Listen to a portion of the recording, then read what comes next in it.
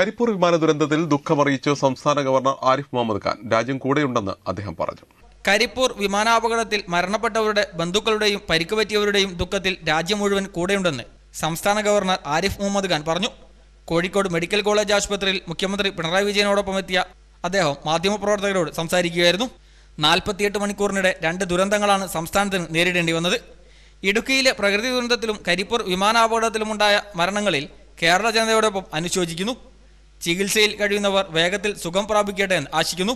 വിമാന ദുരന്തത്തിൽ രാഷ്ട്രപതി രാംനാഥ് കോവിന്ദും അതീവ ദുഃഖം അറിയിച്ചു. പ്രധാനമന്ത്രി നരേന്ദ്രമോദി മുഖ്യമന്ത്രിയുമായി ടെലഫോണിൽ സംസാരിക്കുകയും ചെയ്തു.